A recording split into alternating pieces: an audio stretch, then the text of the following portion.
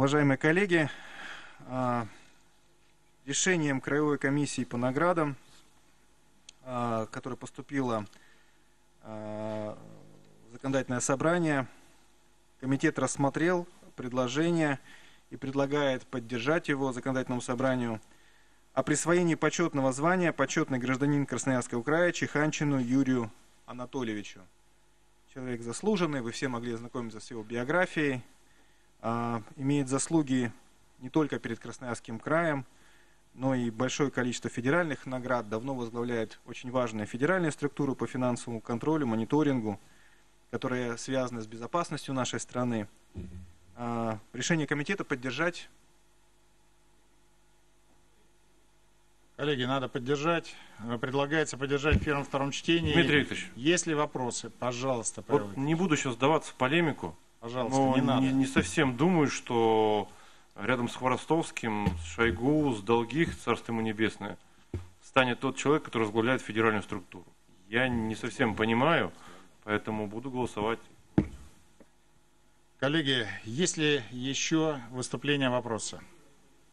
Дело не в том, что он возглавляет федеральную структуру, дело в том, что он наш земляк и работал в Красноярском крае, многое сделал на своем посту и в структурах безопасности.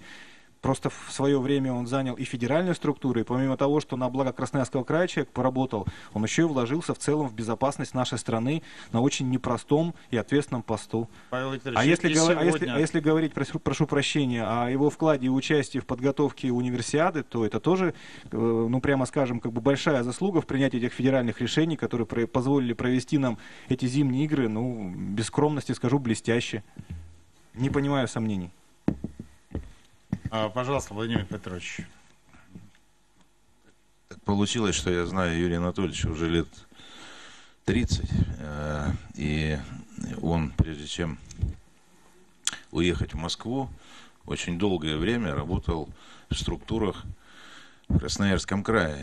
И э, поэтому вот наша команда, которая сейчас в Москве, самое главное, что, мне кажется, вот отличает Юрия Анатольевича в той команде, он поддерживает постоянную связь со всеми э, людьми, которые остались здесь, и помогает, э, сейчас помогать не только рублем надо, да, но и взаимодействует э, и соединяет Москву с Красноярским краем. Это для нас тоже очень-очень важно. Я уже не- не, могу касаться его работы, потому что она там полусекретная, но так или иначе, я считаю, что заслуженный человек, который родился здесь, становление прошел в Красноярском крае, и поэтому э, считаю, что он достоин этого звания.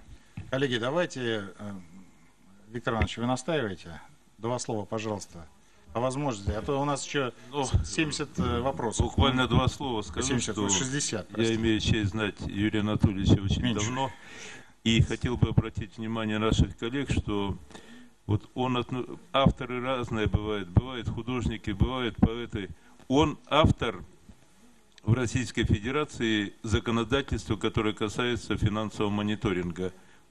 Когда уехал из Красноярского края в Минфин, вот он эту работу гигантскую всю сделал. Поэтому, конечно, с точки зрения высокого статуса достоин, чтобы носить такое звание. Спасибо, Виктор Иванович. Э, Павел Викторович, э, поддержим кандидата первом и во втором чтении? Есть ли иные мнения, кроме как поддержать? Спасибо, принимается.